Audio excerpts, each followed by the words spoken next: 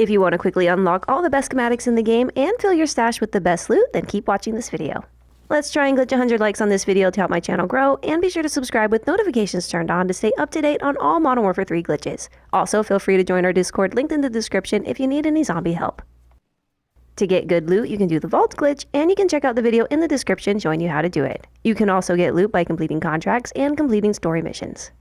You can use the loot right away or save it by adding it to your stash. You can also duplicate any loot you find, and I'll show you the easiest way to do it.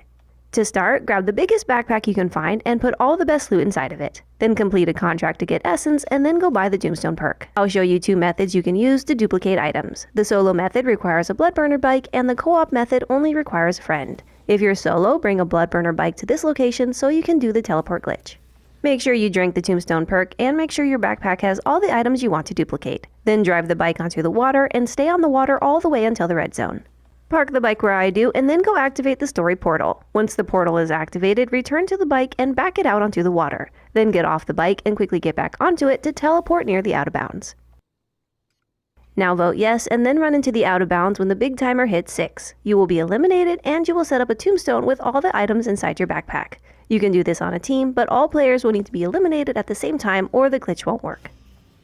Normally you would close the game after being eliminated, but this time we want to add the story mission loot to our tombstone, so we need to complete the whole mission to get our reward.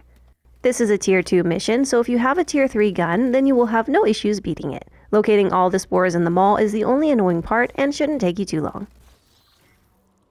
The chests in the mall might have worthwhile loot, but I've never had much luck with them. The boss is not very hard to beat, but make sure you stay on the move. And my favorite weapon for this mission is the RGL with the slug ammo type. Just focus fire on the boss until he dies.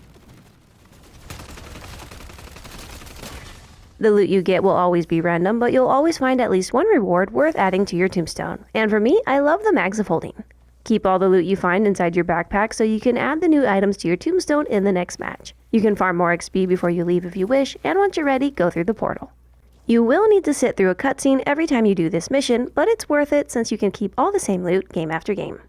When you head into the next match, you will see a tombstone waiting for you at the church. Just replace the bad loot with the better loot you find until your backpack is full of the best stuff.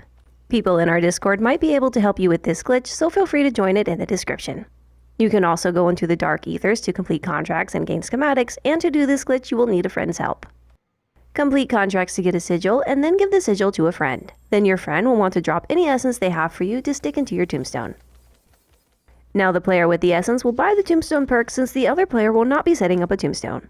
The tombstone player will then need to wait near the out of bounds with the essence and items ready to be duplicated. The friend can now activate any Dark Aether portal and then vote yes. Now you can vote yes and then quickly leave the squad and then run into the out of bounds when the big timer hits 6. This may seem a bit complicated at first, but it gets much easier once you actually try it. This method of the tombstone glitch works to stockpile essence, and you can even use it going into the unstable rift. And make sure you check out the solo tombstone glitch in the description.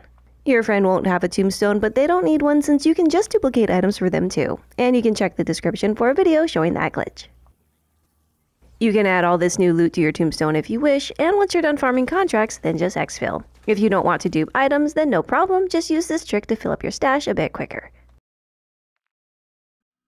Hopefully this glitch won't be patched when Season 5 Reloaded drops, and hopefully this video has helped you guys out. If you actually made it this far, then say the secret word ICE HOT in the comments. Thank you so much for watching, God bless, and I'll see you in the next one. Ciao!